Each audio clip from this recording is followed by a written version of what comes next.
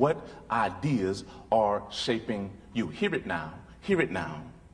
What I listen to shapes my mind, and my mind shapes my actions, and my actions shape my future. If I was at Pilgrim, I would say Facebook that, tweet that, Instagram that, Snapchat that joint. That's what I listen to shapes my mind and my mind shapes my actions and my actions shape my future. Now, you already know that, right? You already know that. Why? Because you know what the word of God says. The word of God says life and death are in the power of the tongue. What does that mean? It doesn't mean that I speak things into existence. That's what the false prophets teach you. It's not that I speak things into existence. No, sir, and no, ma'am. Because, you know, they, they got folk that been speaking things into existence all their life and ain't ever seen any of that.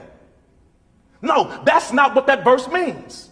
That verse means the power of words, the power of ideas, the power of, of, people speaking certain things over you or into your life. You got to be careful who you allow to speak into your life.